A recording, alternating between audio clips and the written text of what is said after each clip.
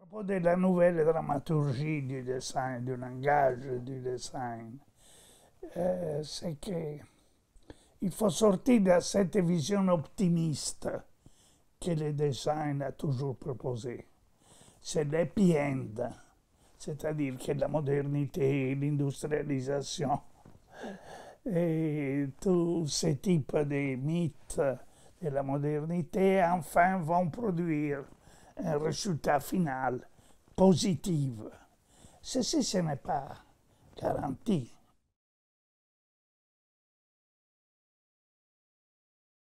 Les grandes simplifications ont, en général ont produit de grands désastres. Donc, euh, non, c'est vrai. C'est un type d'homologation de toutes les questions qui peut être résoudre dans un unique euh, projet d'ordre. On produit un chaos. Donc, c'est l'effet contraire. Mais par exemple, il y a des simplifications qui sont, à mon avis, aujourd'hui très importantes à faire.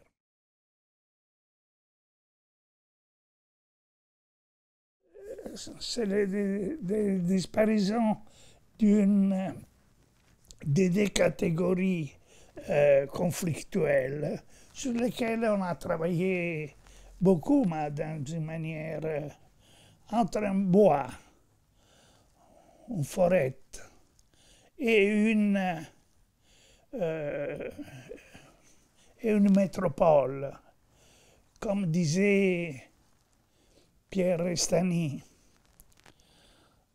Il n'y a, pas, une grande différence, c'est-à-dire que l'homme dans, une forêt vive à l'intérieur d'une espace plein de messages, d'informations, des, euh, des sogni, des, des images, euh, des informations, etc.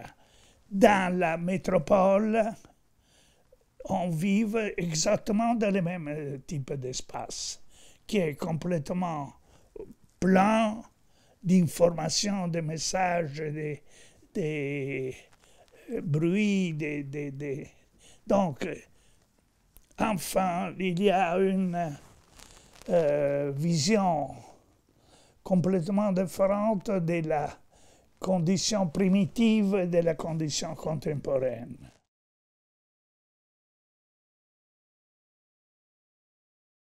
Comme vous savez, j'utilise très souvent des miroirs pour donner l'idée d'un espace infini, qui n'est pas seulement une vision, comme on peut dire, politique, euh, mais c'est une question en rapport au concept d'infini, sur lequel la Renaissance florentine a travaillé beaucoup, parce que les lois sur la prospective naissent au moment qui est possible représenter l'infini le concept de l'infini, qui est un thème sur lequel euh, j'ai toujours travaillé.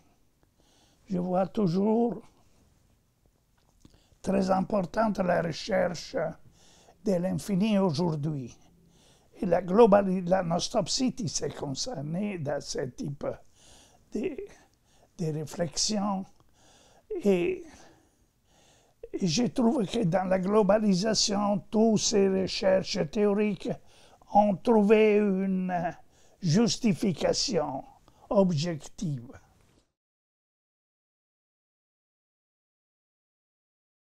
Le citoyen aujourd'hui n'est pas quelqu'un qui habite dans une ville, mais c'est quelqu'un qui utilise, qui reçoit les, les produits industriels, les communications de masse, etc.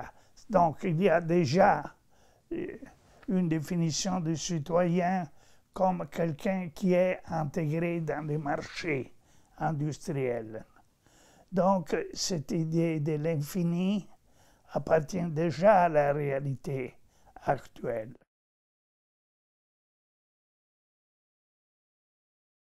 Définition d'aujourd'hui d'une ville, c'est l'ensemble infini d'objets. Ce n'est pas une structure organisée par parties séparées où, on trouve euh, la composition d'architecture comme une qualité fondamentale. Aujourd'hui, euh, la ville, c'est un ensemble d'objets utiles et inutiles mais c'est une réalité dans laquelle l'homme trouve toujours une corrélation, une liaison, c'est-à-dire les rapports avec l'homme, les objets. Ce n'est pas seulement fonctionnel, peut-être aussi fonctionnel, mais il y a aussi un colloque entre l'homme et une présence objectuelle.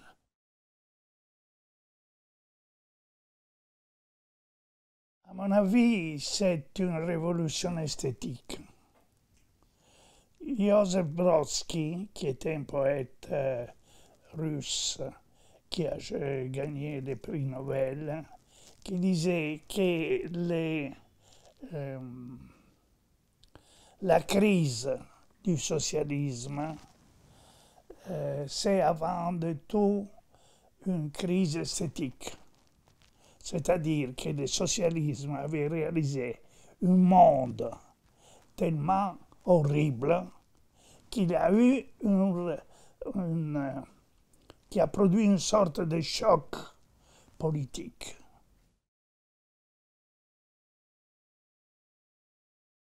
Nous vivons dans une condition néo-primitive l'absence du futur, l'absence du passé, une présence permanente. Le passé comme réalité, il n'existe pas. On doit inventer le passé. C'est quelque chose sur lequel il faut travailler. Ce n'est pas quelque chose qui est déjà écrit dans, dans des livres, dans le, dans les manuels des projets.